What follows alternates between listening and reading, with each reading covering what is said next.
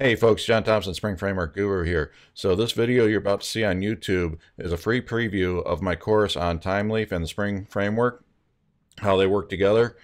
If you like what you see in this series, head over to my website at springframework.guru and you can learn more about the full course.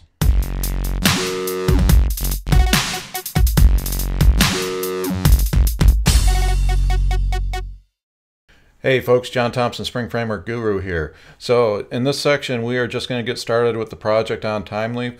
We are going to go in and create a new project using Spring Boot. We'll go in and use the uh, Spring Initializr through IntelliJ to establish our Spring project. And then I'm going to show you how to check out a GitHub just in case you don't know how to use that already. We'll check out a GitHub and then we'll create a brand new IntelliJ project and it'll be this project that we'll be working with for the remainder of the course.